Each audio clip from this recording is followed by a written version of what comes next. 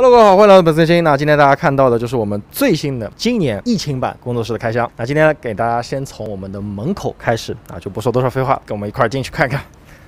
感谢拼多多百亿补贴对本期视频的大力支持啊！因为我们是一个一楼的一个地方，所以我们这边避免不了有非常多的虫，还有一些呃潮湿的一些问题。那所以呢，我也是特别的啊，为我们的这个工作室呢，在因为不可能呃天天开空调嘛，我们这里边有一个工业的一个除湿机，大概大小就是这个样子。然后它的水管就是从旁边直接就走到门口。啊然后就是我们这个入门口的一个工具栏啊，因为我们这段时间每次拆新的快递都会发现啊，每当我们在门口要去。开快递或者要去敲弄一些东西的话，非常不方便啊，所以我们在门口专门弄了一块铁质的这样的动作板。这个动作板呢，平时就放一些比较常见的啊，两把榔头、扳手、剪刀，然后这个是拆快递的。那这块呢是在楼梯和我们加出来的一个货架的一个当中。那这边呢，作为我们整个工作室啊，其实是一个充电区啊，因为我们想在起初安排这些充电的呃设备的时候，就想如果放在货架最里面的话。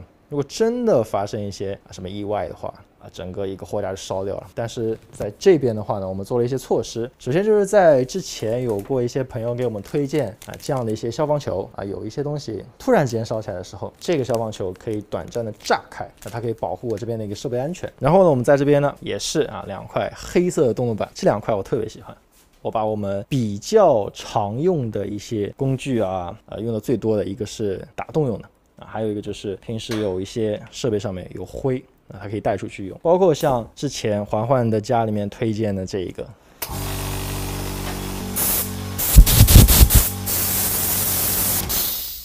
像这一套呢，基本上就是我们比较出去沾了很多的灰，那又或者是呃板车上面非常脏的时候，擦完之后基本上用这个一吹就非常非常干净了。这一半边呢就把它直接放入影了啊，这样直接看下来呢，也觉得这一块也比较适合啊，因为我主要在这一块呢放了一个灯管，那如果没有灯管的话，就失去了点灵魂，那这个地方看起来会很黑。这样用的话呢，虽然没有什么卵用，但是呢，你人站在这个地方的时候。心旷神怡，很有这种感觉。好，然后这一块呢，就是我们的充电区。那之前呢，这些充电车都在楼上，那所以 Type C 线呢都是带瓦数数据的。然后我们这边准备了一排这样的工业插排，需要的时候就往上插，包括像音箱啊，或者是手机，或者是最多的是九七零，还有就是相机的电池。需要的话，基本上我们在呃第一天收工过来的话，那就可以东西快速的拆到这个地方来进行充电。那这个台面呢，就是放好充过电的，第二天就把它直接盖上，拿走。就可以了。这边给大家推荐一个爱图仕的箱子，是我们最近工作室特别特别喜欢用的。啊，我不知道大家之前是怎么把工作室的一些设备带出去的。起初最早我们用的是蓝光的包，后面五百瓦的包也不太够用了，就会去混用一些。大型的背包，又或者是一些带滚轮的背包。自从我买了那个一千二以后啊，我发现他们这个包非常好用。大家看到啊，就这个包，我整个一套至少可以塞下有六套的艾莫拉。那现在呢，一些小型的直播间，其实这样的活还是比较多的。所以我们这边团队呢，一般在出去干活的时候，就会像现在这样，所有的灯都放在一起，然后适配器放在这个灯罩后面。这个箱子，我个人是觉得，如果说你们有平时六个灯或者是五个灯以上的小型灯光的使用需求的话，这个包。我强烈推荐，然后就是这面墙，然后这面墙呢，主要放的都是一些呃用的比较多、比较勤的一些灯罩，然后啊拖线板，那还有一些小的灯，下面呢基本上也都是线。和我们平时直播用的最多的这类灯具啊，因为它比较的耐操，而且直播使用的过程中，个人也不是特别心疼这类灯具的，所以我们专门有几套灯具是用来直播的。那除了这些，其实我们是出去帮别人做直播之外呢，其实我们还有一些业务呢，是我们需要去帮客户去搭建自己的直播间，所以像。今年你看，我们的头顶上有非常多、非常非常多的呃爱图仕的艾莫拉啊，因为现在我们基本上自己去改直播间的话，帮客户设定现场的一套预设，可能有的时候如果选的是两百叉的话，我会选择两套或者三套以上的预设。那这个时候呢，一般我会比较倾向于 App 做的比较好的等，有群里的朋友需要的话。也可以从我这边走，但大多数情况下，我这边的呢所有的灯都是为了我们直播间改造预留的。包括你看到这个刚发的 MT Pro 这个灯，我其实也是比较喜欢的。我专门在这一块地方还给它专门留了一个地方。然后这边是大间，整个货架呢我抬高了一点，这边是我们放啪的一啃，这样一踹就进去了。然后这个地方呢，离我的腰会比较近，所以他们干活的时候呢，把监视器搬起来推进去会比较方便。那上面呢放的就是比较轻的一些东西。然后这个导演车呢，一共是两辆，都分别是国产的两辆导演车。这一辆呢是八寸的一个轮子，它轮子现在是看起来是比较小了，当中加了一些配件这样子。这一辆呢是它的升级版，大小方面啊，这个是最大的一个版本。然后这个呢比它矮一截。然后我的配件呢也陆续到了。平时呢你要放一些泡沫板或者是米波罗啊，又或者是灯架、脚架，都可以直接架在这块的东西上面，这个是非常牢固的，可以直接踩啊。然后就是我们整个。一楼的一个主干的一个区域啊，因为我一个人，其实我的设备啊，算上我这一整间的话，其实我根本怼不满这里的，所以呢，我们当时就采用了合租的方式。他这边基本都是平面为主，我这边呢，基本上就是一些要出的器材为主。刚刚有拍摄啊，东西都暂时都放在了这里，所以能看到我们这边东西今天会有点多，都是些比较大型的一些灯架，平面的东西。那这边有灯球，有六零，有一二零，有九零，然后也有。九零的深抛有一二零抛，还有一些脚架，然后最上面就是做一些。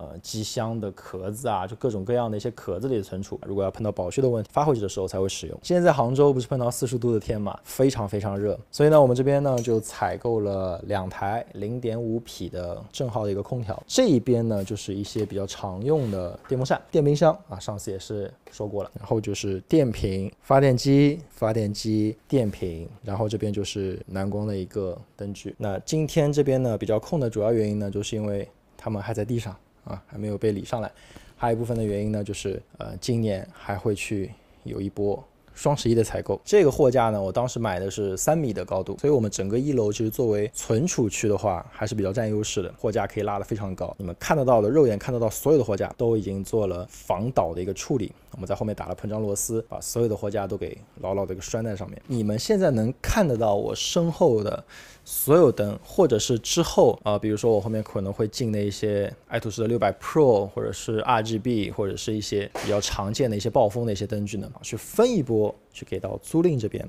看今年会有一个什么样的一个反馈吧。这个场地有可能会像今天这样去拍一些视频啊，或者是怎么样。所以呢，我特别在这个场地里面布置了一点小心机，如你们所见，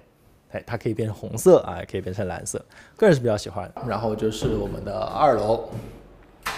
因为我们二楼有放一些设备，所以呢，在这个位置呢有加一个海康威视的一个门禁，这是我在网上能买到的比较好的一个门禁了。然后我之前其实是不用这个东西的，以前是看到别人客户的公司用的。我非常推荐，非常推荐，非常推荐，在国内工作的所有的摄影师朋友啊，如果你们工作室的体积够的话，一定要去买一个非常大的冰箱，你可以在非常时刻不会饿肚子。这一点呢。前两个月已经感受过了，我买其他东西可能要想一想，买冰箱呢是不用想的。接下来这个地方就是我个人非常非常喜欢的地方。万一又上演了《上海滩》第六季或者是第七季，怎么能没有一个好舒服的沙发呢？这个柜子呢是之前楼下搬上来的，我所有工作室器材都是装在酒柜里面，就是我这个场地里面常年保持的湿度是在五十左右。然后这边主要是我们平时干活的一些设备，那有索尼，然后有一些松下有佳能，平时是出工的时候会直接从这边装，装完之后就下楼。然后大家可以猜一下这个四人位的两。两米四长的四人办公桌要多少钱？但它的好处呢，就是整体看上来的这样的设计感，我还是非常非常喜欢。这个办公桌是我从我楼下完整的一比一拆上来的。这边的电视机呢，也用的是挂架，整个挂上去的。当时我记得我坐在这个位子上，然后看着空空如也的一个办公室，然后想我的电视机应该挂在什么样的一个角度？最后量了半天，还打错了四个洞。最终达到了现在这样的一个高度，把楼下的粉丝牌拿上来了啊！时刻督促自己啊，该涨粉，该做内容了。我这边的光源呢，没有我楼下做的那么的多。那我就用了两个光，第一个就是打了一个主光嘛，那这个灯罩，然后第二个呢，就是我现在头顶上还有一个轮廓光，我坐在这边的时候有两个光源。那这个新风机是我个人比较推荐的，只要你是新装修或者是工作室装修的话，它叫做秒星啊，因为我是看了评测买的。然后秒星呢，整个使用下来感觉就是它一次过滤比较干净。那当然了，你也可以选择一些比较便宜的新风去配合空气净化器来做循环。区别就是它的秒线应该属于现在市面上呃后期加装的新风里面它的一个风量是应该最大的。然后这块区域可以看到现在是一个控制的一个状态，因为这个地方是吃饭的地方。看到这个灯也知道啊，这个吃饭的一个吊灯。餐桌其实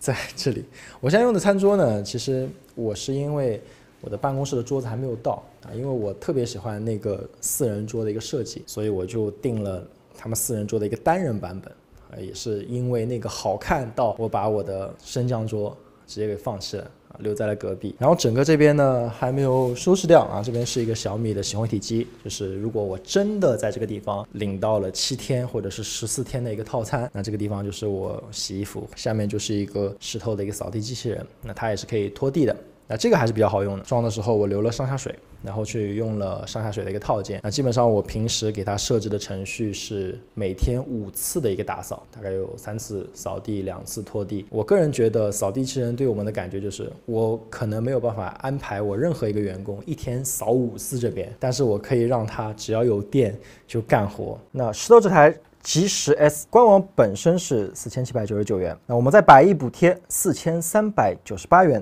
就可以入手了，而且现在正好是暑期大促，很多的数码产品和家电都是大折扣。现在打开拼多多搜索八二零九二，点击进入或者直接点击视频的下方链接，就可以直达优惠。还有工作室使用的十四寸十六 GB 的 M1 Pro，官网的报价是一万八千九百九十九，百亿补贴只要一万五千四百九十八，那省下来的钱都够买一个不错的安卓手机加一个 AirPods Pro 了。当然还不止这个配置的，苹果全家桶整个系列也是非常不错的价格，还有推荐一款米家冰箱对开门六百一十升墨鱼盐，补贴后两千二百九十九元的价格真的非常划算，而且品质也不用担心，所有百亿补贴的商品承诺假一赔十，且有品质险的双重保障，认准个标就行了。然后这里是一个一体化的水槽啊，因为工作室你们看到有冰箱有其他，所以上下水嘛，肯定会有一个这样的水斗。但是我想我都在这边了，如果我还在洗碗的话，因为我已经给我妈、我爸还有我老婆他们家全部都买了洗碗机。然后我其实也是一个不是特别喜欢洗碗的人，那最后会在上面加一些隔板啊，或者是一些灯光。这个区域呢就是空调，就不用多介绍了。这个是啊接了一个下水的除湿机，因为每天空调不可能一直。开的，当人走了以后呢，空调会关闭，然后除湿机自动运行，楼上楼下各一个。这边呢就是专门吸一些墙角的一些扫地机器人吸不干净的啊，想到了就给它吸一下。然后这边是工作室一个打印机。呃，餐边柜呢一开始其实是给我隔壁那边买，它的一个整个装修的风格会和我们之前的一些纯白的产品稍微有点格格不入啊，但是大差也没有特差吧，这就是。本期视频的所有内容了。但凡你装过工作室的朋友，都应该有所感受，就是任何一个工作室，它的基建啊，或者是它的墙面都不会是特别完美的。那这个工作室也是一样，包括当中也是发生了一些电路的问题，或者是其他一些问题。但是后面呢，都是靠钱来解决，所以后面就要更加努力的工作和干活。去年的五月份，我记得当时我刚刚才做了我隔壁的那间工作室。但是这时间过得真的是超级快，而且这里面一年里面感觉发生了超级多的事情。去年的五月份，我还在和我们的小伙伴，那个时候人还很少，在隔壁贴那个吸音棉，我还记得那个味道。然后今年就已经哎换了一个新的一个工作场地了，那这个确实是一个很不一样的一个体验。虽然说呃有压力，但是有伴随着动力。也希望各位在看我视频的朋友们，那也可以跟我们一起进步。别忘了拼多多搜索八二零九二，享受百亿补贴的折扣福利。